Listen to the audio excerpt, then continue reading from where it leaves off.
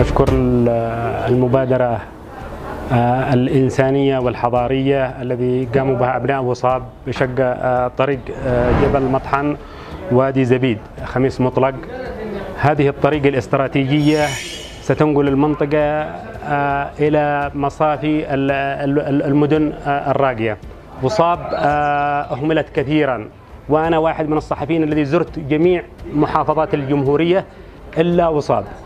عندما كنت مدير تحرير عدة صحف وعندما كنت رئيس تحرير لعدة صحف أتمنى من أبناء أبو صاب أن يلتقطوا هذه المبادرة وأن يعيدوا الاعتبار لمنطقتهم سواء الميسورين أو غيرهم.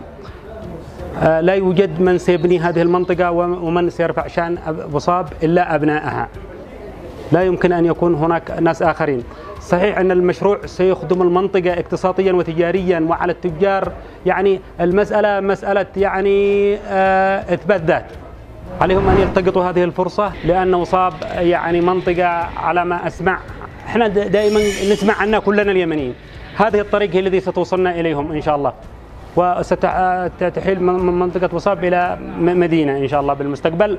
وسترتفع أسعار الأراضي هناك ويتحول أبنائها إلى رجال أعمال.